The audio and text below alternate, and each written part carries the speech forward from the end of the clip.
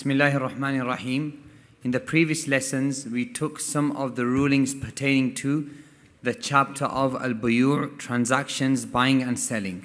And we said that the base ruling when it comes to buying and selling is that it is permitted. And if anybody claims that a, a particular transaction is halal, then he is asked to bring the proof, however, with politeness. Or, as we studied, if the transaction contains al gharar wal jahala, which is an ambiguity or a probability, or dhulm, oppression, any wrongdoing, or a riba, then it is haram. And then we spoke about a particular issue pertaining to inheritance, and that is how or what are the rights upon the wealth of a deceased.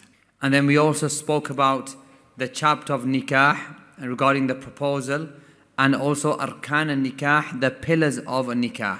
And we also spoke about how to reconcile and solve marital problems.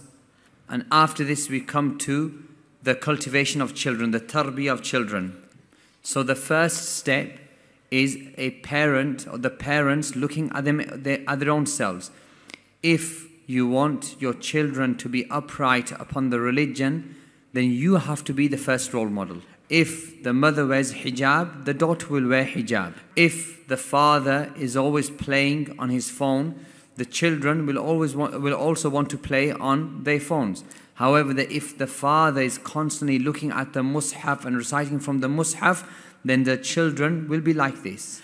And also talking to your children and verbally emphasizing to them the, your aqidah. Who created us? Say Allah created us. Who provides for us? Say Allah provides for us. Anas ibn Malik radiallahu an, he served the Prophet sallallahu alaihi wasallam in his household for 10 years. And Anas radiallahu anhu was young. And don't think that Anas radiallahu anhu he never did anything wrong. However, the Prophet sallallahu alaihi wasallam he never rebuked him, and he never said to him in something which he had done, "Why have you done this?" or something which he had left, "Why did he not do this?"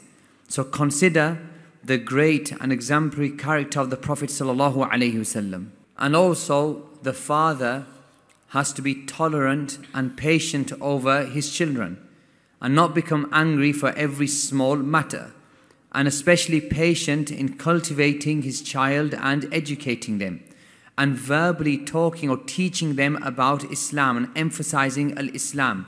Who created us? Allah created us. Naam. Who provides for us? Allah provides for us. Who teaches us? Allah teaches us. And also the seerah of the Prophet sallallahu alaihi wasallam, teaching and talking to your children about the seerah of the Prophet sallallahu alaihi wasallam, so the young child grows up loving these matters. And also that you bring your child with you such that he accompanies you in the masjid. But then when you are in the masjid, that you don't leave him to himself so he goes and plays and causes disruption, but you keep him with you so he prays with you. Then he prays next to you. And also, we have to order our children with the salah, especially when they are seven years old and older. And also that in your houses, you have a small room or a portion of a room or a small corner, which is like the musalla of your house or the masjid of your house. And the Prophet sallallahu alaihi wasallam, he used to encourage people to have masajid within their houses. And this doesn't mean the masjid where the congregation is held, but a small corner or a small room in which maybe there are some masahif, Quran, and you pray salah with your children and you talk to them about Islam. So, for example, you have a lesson with your wife or with your children in this area of the house. And also that you make an abundancy of dua. Like you say, Oh Allah, grant for us from our offspring and our wives those who will bring pleasure to our eyes and make them the ai of the people of taqwa. And the Prophet ﷺ told us that when the child of Adam, meaning when a human being passes away, all his actions cease except three matters, meaning three matters continue as if the reward continues. And from these three matters is a righteous child who you leave behind, supplicating and making dua for you. And also knowledge which you leave behind, which people benefit from. So, for example, in your situation, Allah has blessed you that you know the English language. And there are many ways for you to give da'wah in even other language. Some of you, you know more than only English. And even if you're a person and you're not proficient in translating, but you can take quotes from some good books, from trustworthy books, and then send them out and broadcast them. And also in the hadith, the third action is a sadaqah jariyah. And what is a sadaqah jariyah? That you buy a book or you buy a mushaf and you leave it somewhere for the sake of Allah for people to read. You leave it in a school or a masjid or a train stop, train station. And this is you leaving behind knowledge which people will benefit from until Yawm al Qiyam. And also the digging of wells or the building of masajid. And if you're not able to build a full masjid, then having a portion in the building of a masjid. A Muslim has to have some efforts in every aspect, in every type of good action. Meaning, it's like shooting an arrow at every direction towards every target. All the actions of goodness, try to have a, a small share in it. Like, for example, building a masjid, looking after the orphan, the digging of the wells, and spreading knowledge. And every great aspect of Islam, try to have a small action which is connected to each different area of Al Islam. And Allah subhanahu said, the meaning of which is, O people of Islam, enter into Islam completely, meaning all of Islam, try to fulfill and have a share of every part of Islam. And also the Prophet sallallahu, uh, also the author, rahimullah, Sheikh Abdurrahman Nasir al-Sa'idi, in his book, he also spoke about the chapter of al-luqata, which is stolen items or lost property, afwan lost property. So lost property of whose owner is not known, is unknown, then this is either an animal or something else. Um, if you think that the, there's a big probability, the major probability is that this item is, it is not lost. For example, I'll give you an example. If we have somewhere yani outside uh, a skip in which rubbish is thrown, and then by the side of the skip there is a chair and a computer and some other, some other commitment, uh, some other equipment, then in the majority of the cases, it's not lost property which has been left there, but somebody has placed these items near the side of the skip because they don't need them. So this, there's no problem with a person taking it. So this, we understand in our society, by our own understanding, how we operate, that these items have been placed in that area by the owner because he has no problem with anybody picking them up and taking them. Now, and if this brother says that I exited from the masjid, and if he says that as I left the masjid, I found the Mercedes of Sheikh Ibrahim and it's ignited and everything's working and the AC is on and, and switched on, is he allowed to take it? And he says, but there's nobody there. It's not allowed to take it. He's not allowed to take it. Why? Because we understand in our society how our society thinks that this hasn't been left there for people to take. Or if he exited from the masjid and at the door of the masjid there was a bike which had been left there, bicycle. Now, in the majority of cases, the highest probability is according to how our society works and thinks and our customs, that it is a person who has left his bike outside the masjid to come and enter and pray in the masjid, and then he's going to get his bike again. But if a person was walking on the street, and whilst he was walking on the street, he looked down and he found an iPhone 13 or a small amount of gold, or he found a computer on the street, or he found a watch, spectacles, Number a pen. One. So these types of items, in that this type of scenario, this is what we call luqata. This is what the Sharia considers to be a lost item, meaning it's not as if the owner has placed the item randomly on the street without or, or, or, without a reasoning. Rather, most likely it's a lost item. So as I was walking and on the street, I found this phone. Now, it's not permitted for me to touch the phone it's not permitted for me to lift the phone without me thinking first. I have to first think that if I take this phone, will I be able to publicize or to announce it to the people for a whole year that there is a lost phone in my possession which somebody owns for a whole year? If I am able to do so, then it is so. However, if I am not able to do so, then I leave it or I inform the police, the authorities. So the ruling is when it comes to lost property or lost items, that it's not al- allowed for a person to take it into his possession un- unless he knows that he's able to announce or advertise this lost item in that locality for a whole Hijri year. And this ruling which we mentioned, this applies to those items which have a value with the people. But there are other items which don't really have a value with the people. For example, if you found this pen on the street, it's not like the owner is going to be searching for this pen for a whole year because it has little value.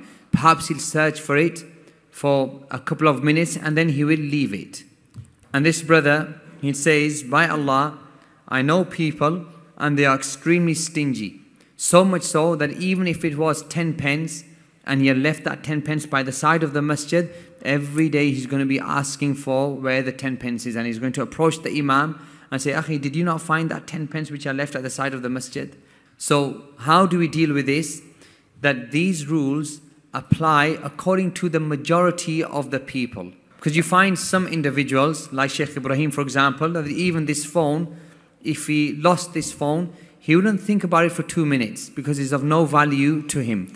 So you find people on each side. So No. we have to, in these cases, we consider what is prominent amongst the people and the majority of the cases.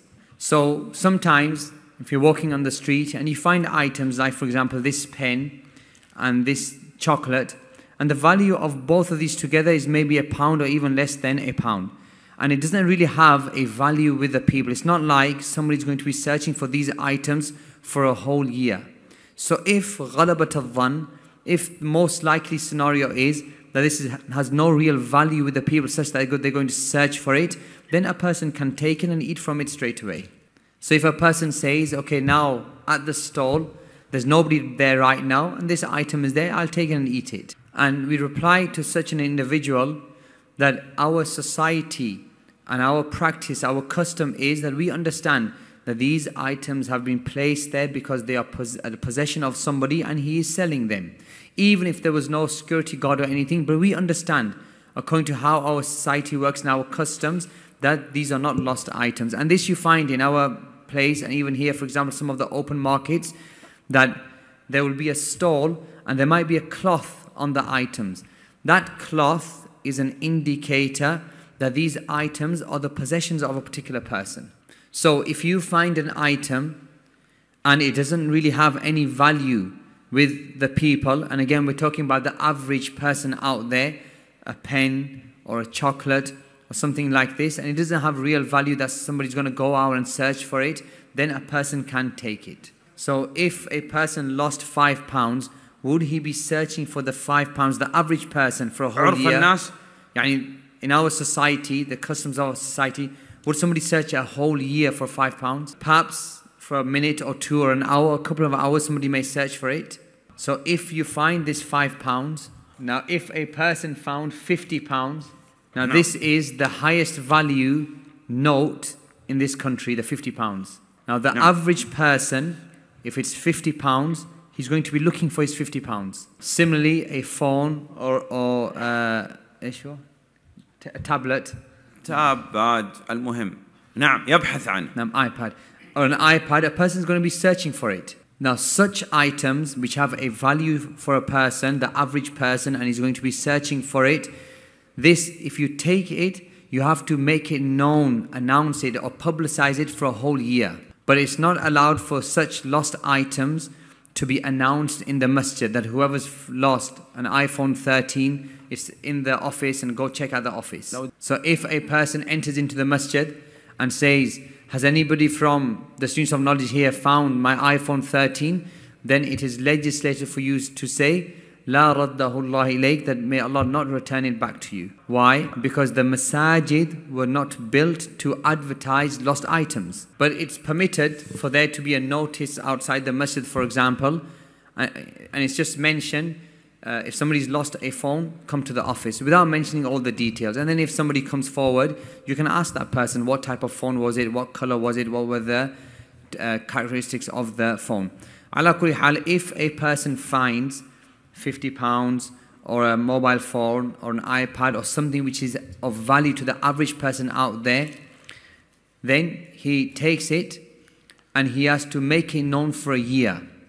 If the owner comes forward and you can test if it's the right owner, then you return it back to the owner.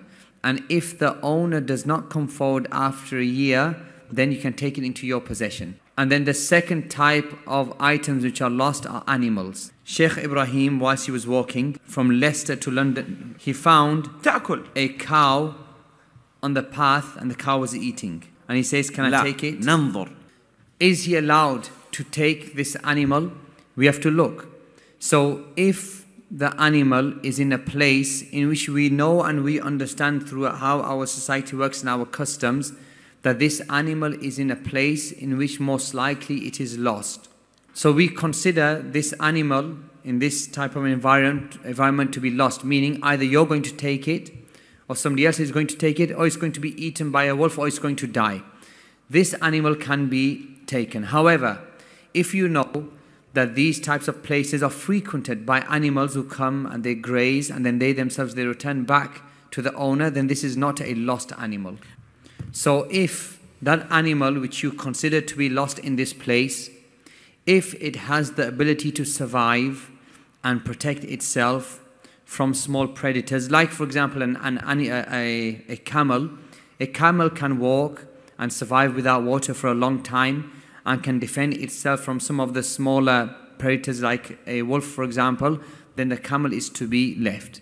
However, however, if it is a cow or a sheep, and you know that the sheep or the cow cannot protect itself and is easily killed or hunted down by the predator, then that animal can be taken if you consider it to be lost. However, it has to be advertised or announced for a year so the owner can come forward.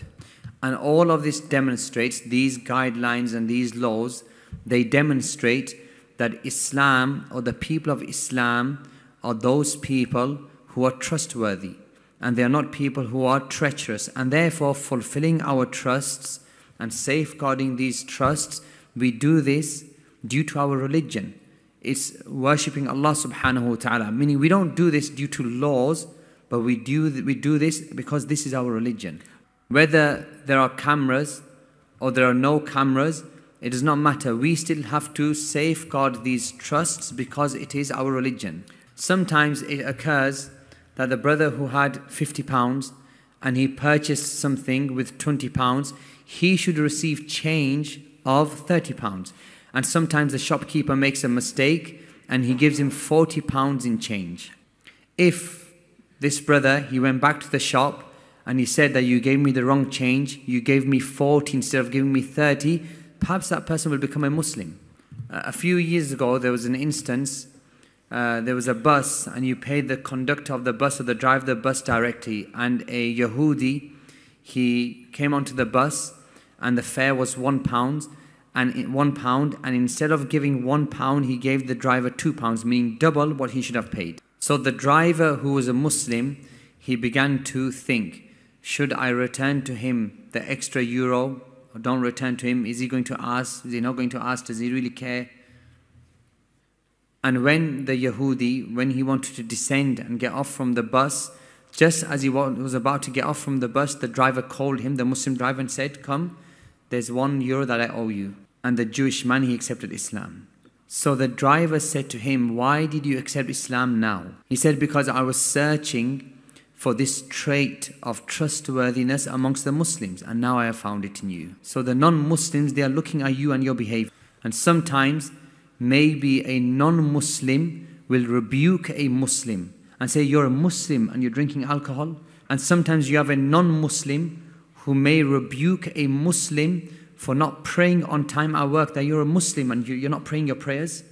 And I've heard there are certain instances where non Muslims they want and they desire to live next door to Muslims and they don't want to live next door to non Muslims. Why is this?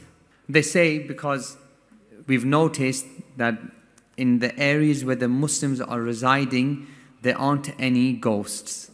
And also in the areas where the Muslims live, you know, we're not irritated, we're not harmed, there isn't the raising of voices and music, loud music, and there are no disturbances. And they know from Muslims that Muslims don't drink alcohol, and if his neighbor was a non Muslim, and he'd be drinking alcohol and he comes at late at night and then he's going to cause an accident and cause damage. So those non-Muslims they know this and they recognize this recognize this regarding the people of Islam. Meaning there is nothing now which prevents him from accepting Islam except one step and may, maybe you're that step, you're that avenue. Uh, and the author in his book Manhaj al-Salikin he also mentioned the chapter of jinayat. And jinayat refers to transgressions, meaning crimes. That a person transgresses or violates another person by fighting or by injury or cutting, or perhaps insulting him or swearing at him or making accusations against him, accusations of theft or accusations of kufr. And all of this, it comes under a ta'addi, violating the rights and transgression. And the non-Muslims as well, between us and them is an understanding of peace. And so it's not allowed for us to transgress against them and violate their rights. The Prophet ﷺ, how did he used to interact with the non-Muslim? With good, beautiful, exemplary manners. The, uh, some of the ulama mention that the Prophet ﷺ, if he did not give any, if he did not preach to them in any way except that he dealt with them in these good manners then these good manners would have been sufficient enough as a call to them. The slave girl, she is pouring the water for her master whilst the master is making wudu. And then the glass or the bottle, it fell from her hand onto the hand of her master and he was cut because of the glass. And now the slave girl, she becomes scared. And she says to her master, Oh my master, Allah mentions in the Quran regarding those people who control and conceal their anger. And then yeah. he mentions that I'm controlling my anger, I will not become angry over. But she's still fearful that perhaps if he continues feeling the pain and the pain becomes worse, maybe he will punish her. And then she also said that not only do they conceal their anger, but they also pardon and forgive. So forgive me. And then he mentions, I've forgiven you as well. And then she reminds him that Allah says, uh, the meaning of which is, and Allah loves those people who do good. And then he says, You are free. So if you become angry, how should you react? What do you do? Firstly, seek refuge in Allah from a shaitan al-rajim. Secondly, perform wudu. If you're standing, sit down. Make dhikr of Allah, remember Allah. And don't remain in that place in which your anger will be uh, incited even further. And a man came to the Prophet ﷺ and he said to him, admonish me and the Prophet ﷺ replied, La taghdab, do not become angry. Then the man said, Advise me, admonish me. And the Prophet ﷺ replied, Do not become angry. And the, and the man then once requested once more, Advise me, admonish me. And the Prophet ﷺ repeated, Do not become angry. And no. consider how small this advice was from the Prophet ﷺ. Just don't become angry. And then the Sahabi, the narrator of the hadith, he mentions that I realized afterwards that controlling your anger is the root of all goodness. So the Muslim does not transgress and violate other people through fighting or insulting or swearing. But at the same time, you don't allow a person to beat you or hurt you and you say no problem. So no. don't do not allow anybody to transgress against you, but at the same time you don't transgress against others. And then after this, the author, rahimahullah, he mentioned al-hudud. And these are the penal punishments of Islam. And who is the one who establishes the punishments of Islam? Is it for any and every person? And so this isn't the right of any and every individual, meaning a person kills another person and if he's asked why did you kill that person, he'll say, well, it was the had which I was establishing upon him. And you hear in some of the countries killing and murder, and if you ask them why, they say, well, they're non-Muslims. So the only person who has the right to establish and carry out the punishments is the sultan, the, the state, meaning the leader of the state. Otherwise, this becomes play, each one killing the other. So the only person who has the exclusive right to establish or to carry out the punishments of Islam is either the state, yani the ruler of the state, or those who he has given the authority to do so, like for example the please. نعم نقف